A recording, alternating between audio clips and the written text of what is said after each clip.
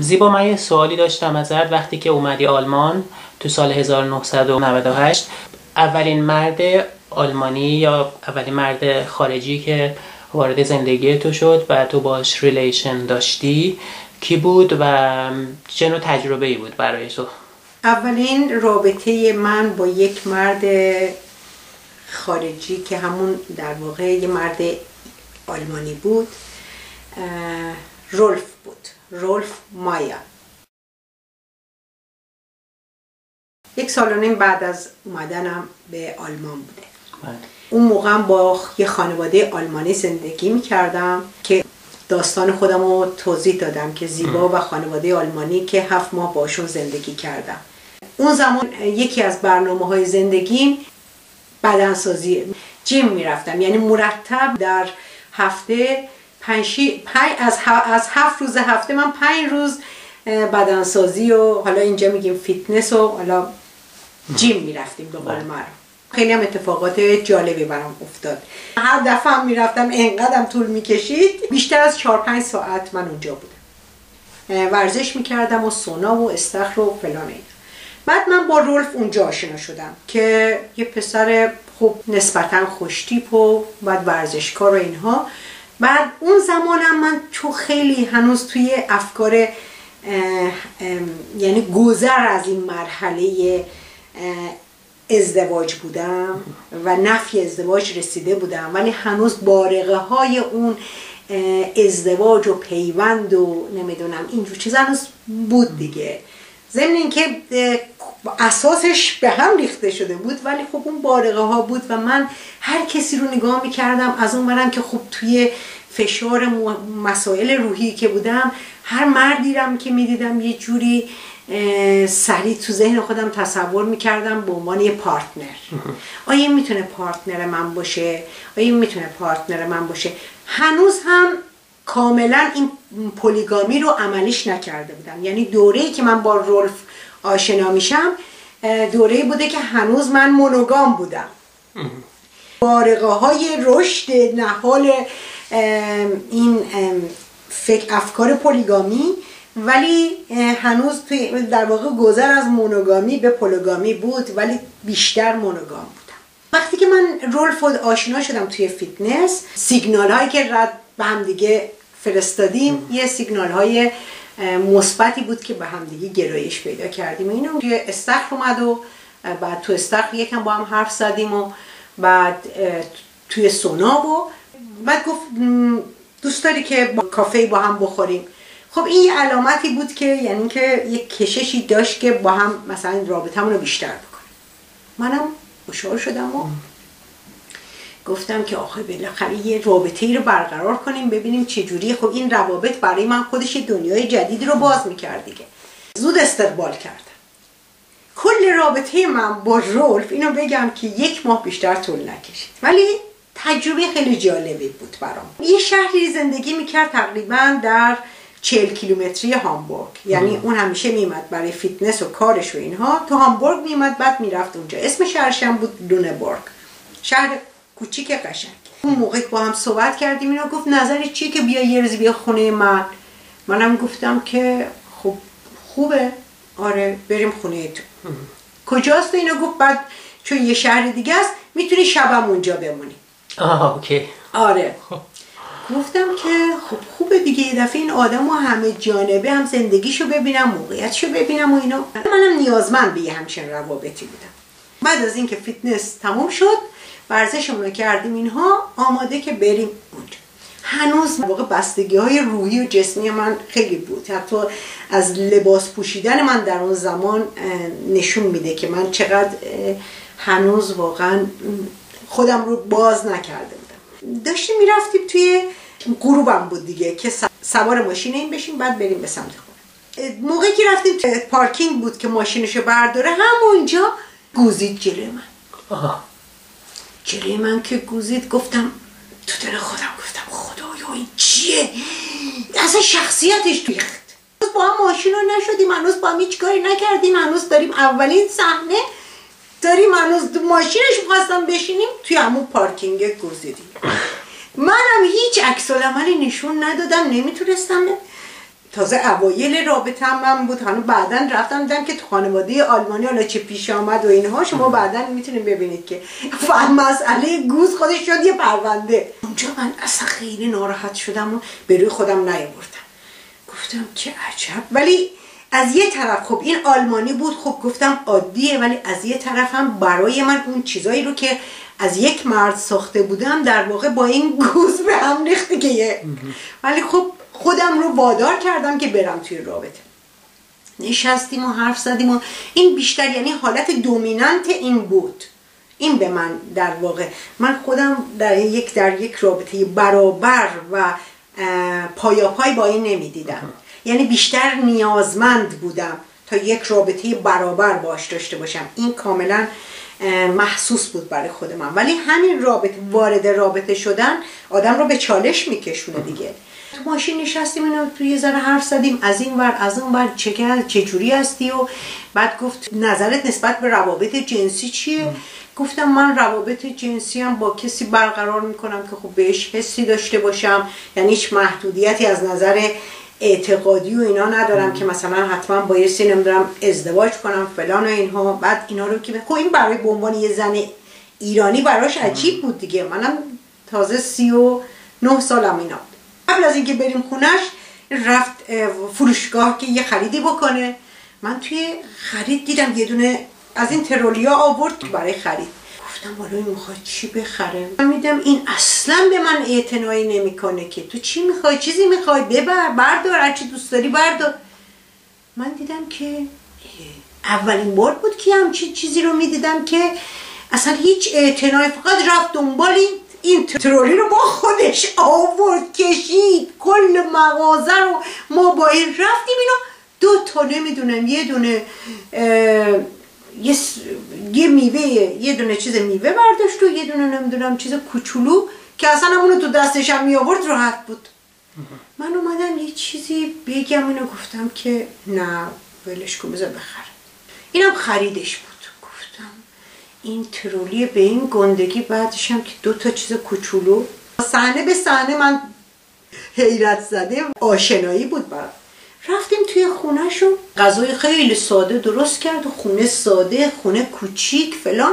با اون فرهنگی که من از ایران اومده بودم و اینها خب آدما مثلا خونه آدم دوست پسراش مثلا وارد می‌شد خونه آنچنانی و نمی‌دونم تجملات و فلان. نه این ماشین خیلی ساده زندگیش هم ساده خودش هم ساده.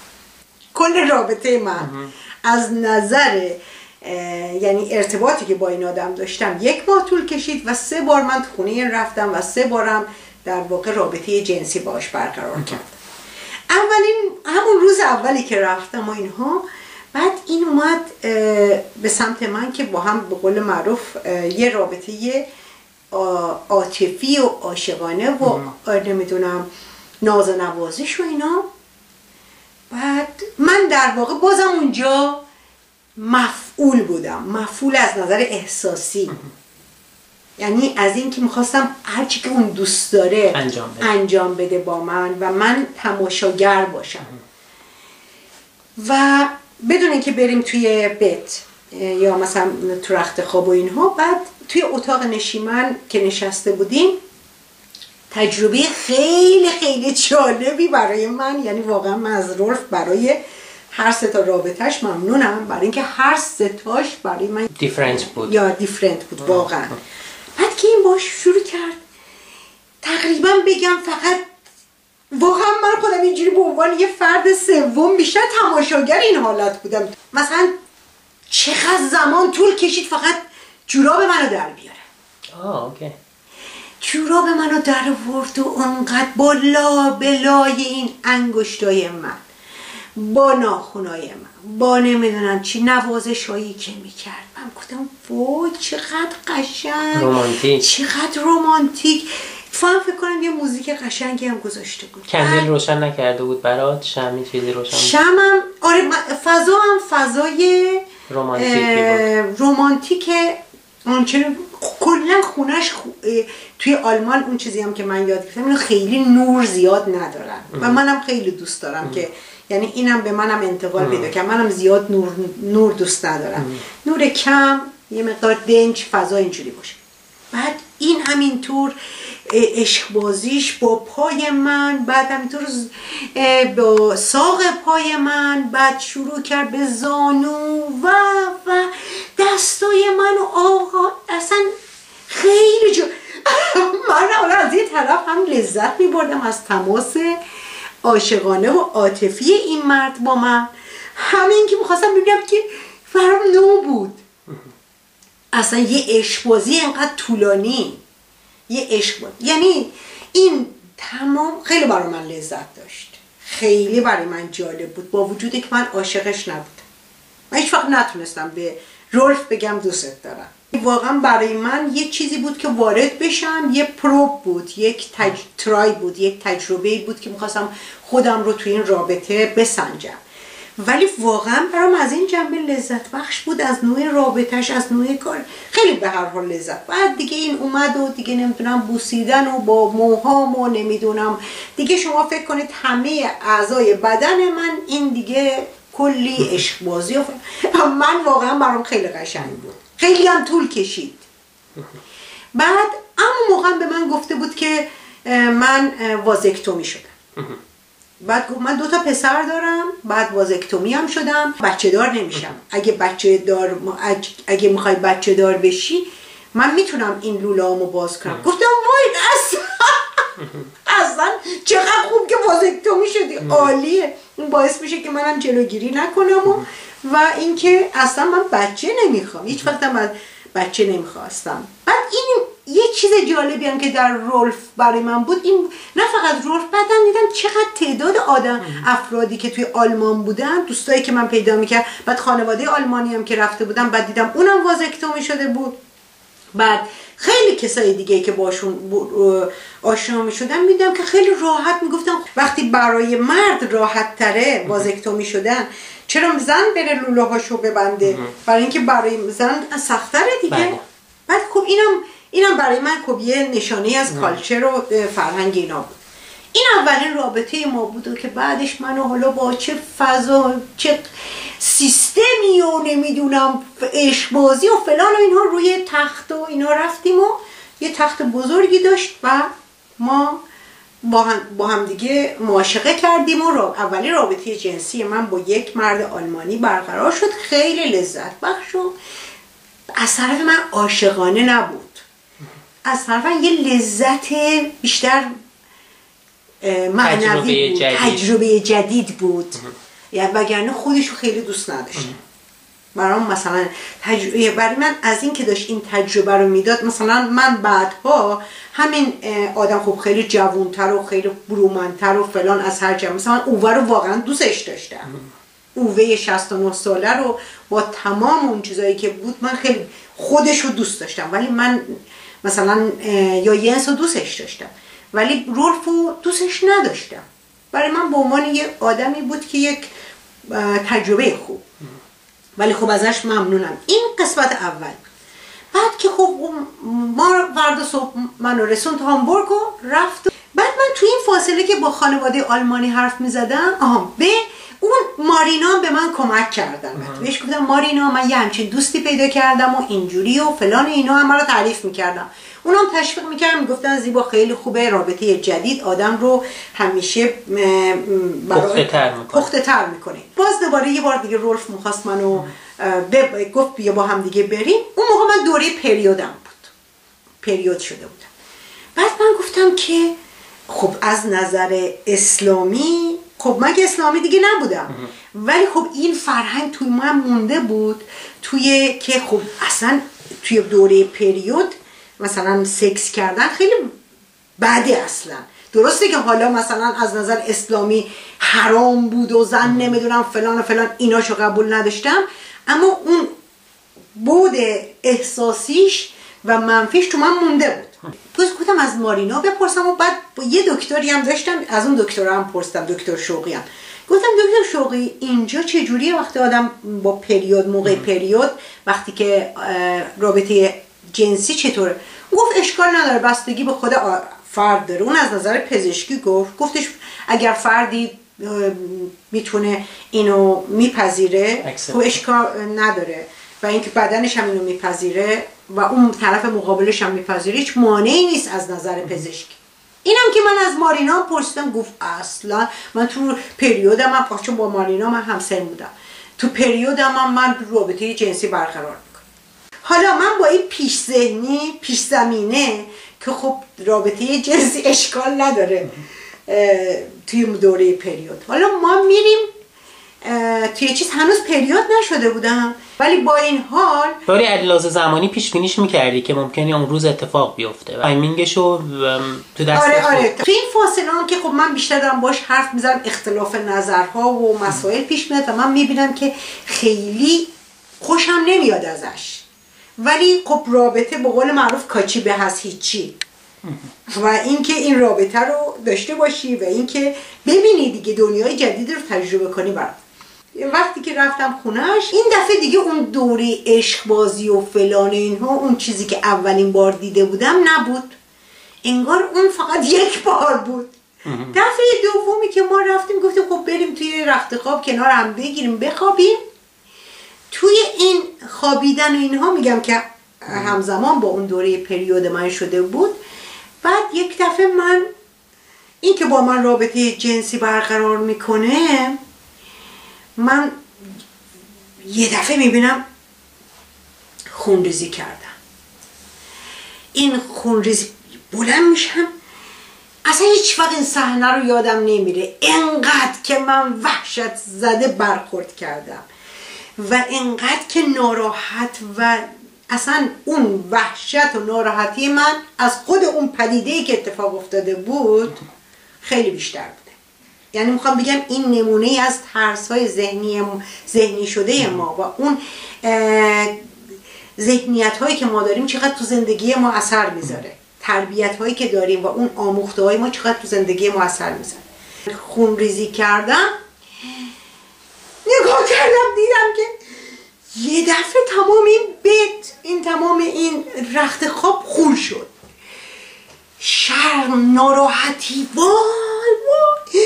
از این همه خجالت میکشیدم.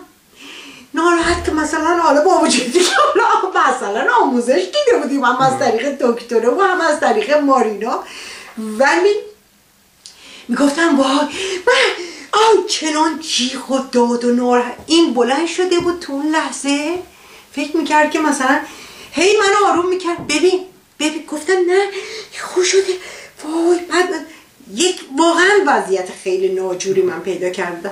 و این برخورد دومی که توی این رابطه جنسی با من رولف کرد خیلی قشنگ بود. یعنی من یعنی بیشتر از اون حالت اولی که بودم یعنی اونم یه لذتی داشت. اینم برای من خیلی این منو آروم می‌کرد. می‌گفت ببین از چی ناراحتی؟ از چی ناراحتی؟ از این خون؟ خب از این خون؟ خب ما اینو ما همینطور می‌گفت ویر هبن واش ماشینه ویر هبن واش ماشینه. یعنی ما ماشین ما ماشین لباسشویی داریم ناراحت نباش ما ماشین لباسشویی داریم. حالا مثل که یه چیز هی می‌خواست به من بگه ماشین لباسشویی داریم. من یعنی اون شب این در واقع مثل یه کسی که یک آدمی که وحشت زده این حالت شده این باز هم یه مرحله یه حالت آروم کننده من شد. و من دیدم که عجیبه. اینا اصلا یه همچین اگر مثلا تصویر من این بود تصور تصویر که انتظار من این بود که خب من یه همچین کاری بکنم یعنی من سرزنش بشم. هم به عنوان یه همچین اونم حالا چه خونریزی شدیدی شد. اصلا حالا کار ندارم که این کل این بیت کلا اصلا بعدا اصلا ملافه فقط نبود و کلا دیگه فاتحه با توشک مترس مترس یا حالا همون دوشکه. سومین دفعه دیگه هم انگار این از اون حالت هیپنوزش در اومده بود که دیگه این زیبا اونی نیستش که یعنی در واقع اون حالت های عشقبازی اولیه. دومیش هم که این فرهنگ تفاوت فرهنگی ما. و بعدش هم که می‌دید که من اینو دوستش ندارم. درسته خیلی به من لطف کرد ولی واقعا می‌دید سومین رابطه جنسی ما خیلی رابطه جنسی بدون عشق بدون لذت به رفع تکلیفی بود که خب یه بغل کردنی بود. در واقع متناسب با همون احساس واقعی هر دوتامون بود. یعنی این دیگه آخرین رابطه جنسی ما شد که بعد از اون دیگه نه اون منو دعوتش دعوت کرد به خونش و نه من خواستم. بعد دیگه من دیدم که این رابطه کلا سرد شده و من هم یه یک روزی با خودم گفتم که من خیلی حرفا از توی دل خود من بود در موردش.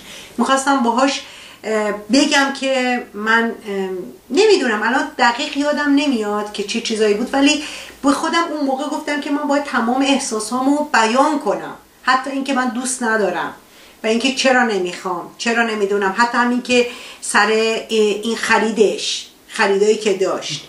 یعنی انقدر این فرد مثلا حتی یه هدیه ای که آدم بخواد بده. درسته که من رابطه برابر رو دوست داشتم ولی احساس می‌کردم که توی این رابطه لذت نمی‌برم دیگه. گفتم من به هر حال باید بشینم باشه یک بار باش صحبت بکنم. خوشبختانه اون زمان با وجود این که به اون مرحله نرسیده بودم که همه حرفام رو کامل بزنم ولی به خودم یه هل دادم.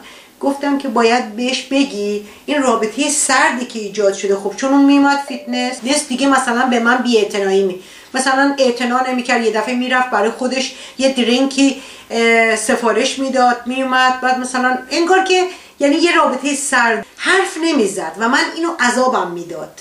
خب درست رابطه ما سرد شده بود ولی من دلم می‌خواست که اگر هم مثلا نمی‌خوایم با هم ارتباط برقرار کنیم ادامه بدیم با هم حرف بزنیم و به هم دیگه توضیح بدیم. اینو دوست داشتم. بعد به هر حال یه حالی به خودم دادم گفتم یه روز گفتم رولف من می‌خوام بیام بشینم با تو صحبت کنم.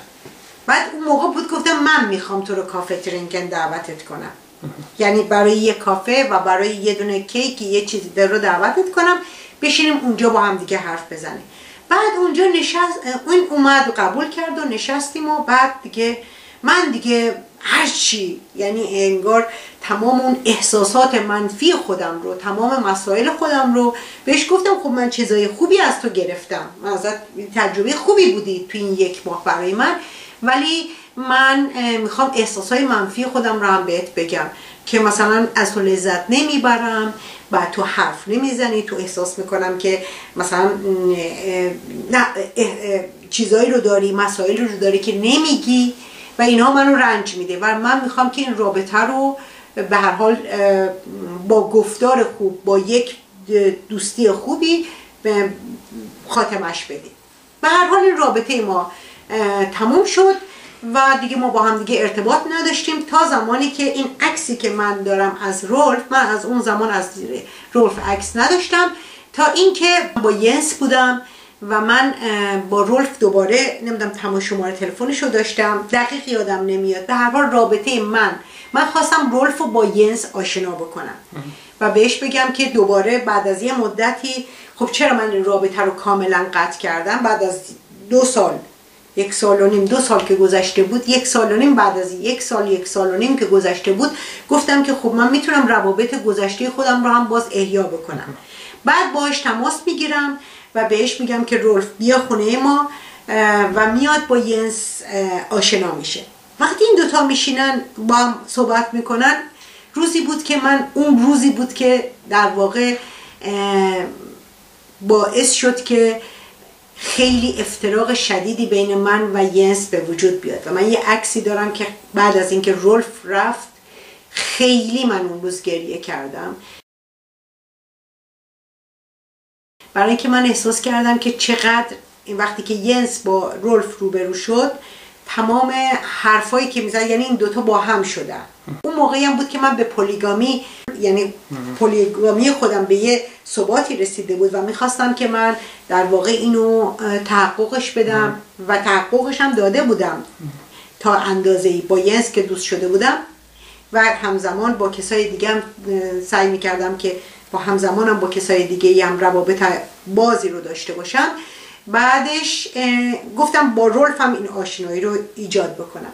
بعد رولف وقتی اومد کنار ینس قرار گرفت در واقع اینقدر یه چهره جدیدی از ینس دیدم که در واقع در جبهه رولف قرار گرفت. اون عکسی هم که من دارم همون روز هست که ینس از ما گرفته. خیلی من رو ناراحت کرد و بعد از اون من خیلی گریه کردم و می‌گفتم که ینس واقعا یک اپورتونیسته. که در مقابل این, این, این چنین برخوردی رو کرده. اما خب اونم برای من یه تجربه شد. تو اون موقعیت رولف یک بار میگه که من یه زر...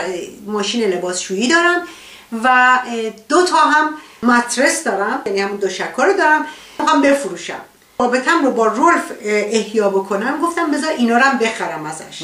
سر خریدن همون ماشین لباسشویی بود که در واقع میگفتش که اون ملافه هایی که انداخته بود و می‌گفت ما, ما ماشین لباسشویی داریم. و همون دو شک باز به خود من رسید. چون دو شک رو که وقتی آورد من یادم خونه ینس که آورد یه دفعه دیدم توی این دو شک دو شک که اونجا هست پشتش خونه خیلی بزرگ. خونه دیگه خونه. بعد گفتم که دیگه اونجا نگفتم. به روی دارم الان توی این, توی این کلیپ اول میگم. گفتم این در واقع خونه خود منه. به خودم رسید این دو به خود من رسید. اما سر همین فروش اینها رولف با من یک خیلی با من اختلاف پیدا کرد. بعد من بچه ها دوستان گفتن زیبا اینا خیلی گرونه. برای چی داری یه چیز دست دوم انقدر گرون میفروشه و فلان اینا؟